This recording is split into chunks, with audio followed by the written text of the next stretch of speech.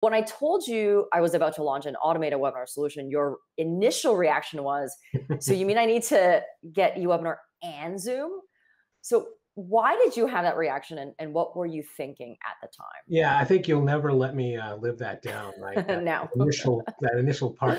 Well, I, I don't think, you know, honestly, Melissa, I, I grokked it at first. I thought that this was just a you're making a webinar software that was easier to record and publish right? And I thought, well, okay. I mean, is that is that a lot? And then I remember when we were setting up the meeting, you said, "I'll call you in Zoom." I'm like, well, hold on a second. Why? You have to have Zoom too? I don't. I I just didn't grok it at first, right? And I think um, you'd sent me a video you had done, and probably I think the first three minutes we started talking, I'm like, oh my god, this is so amazing.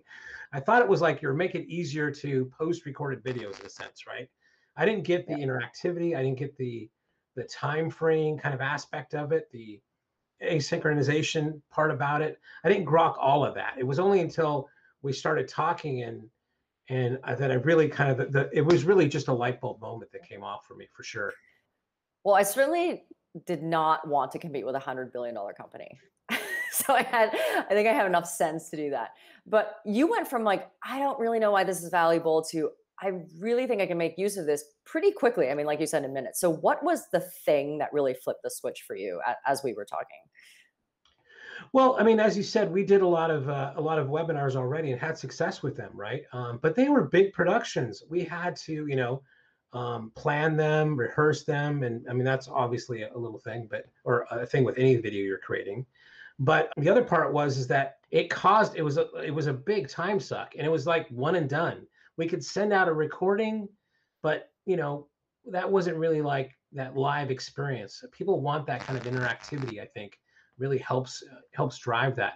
But when we when we were looking at all the different solutions out there, uh, there was nothing out there that we could really see that would have that interactivity. Right? It had to be live. It had to be live. It had to be live. We were yeah. doing probably I think at first we started with like every day we would do a live video, like to run through our products. And the things that people liked about that was that there was an anonymous nature to it. So they could be maybe they were looking at our, our software products, but didn't want to really get a full demo from a sales guy. So they would, they yeah. would they would go on to these like daily webinars and just get a get a view without having to be have the pressure. And then they would reach out going, okay, I saw a demo. This is pretty cool.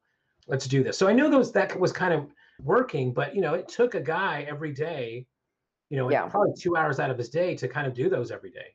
Right. And yeah. then we started lessening them down to, you know, maybe twice a week. And that, you know, didn't bring as much uh, leads in as well. So um, it was, it was all these things together. It just solved a lot of problems for us.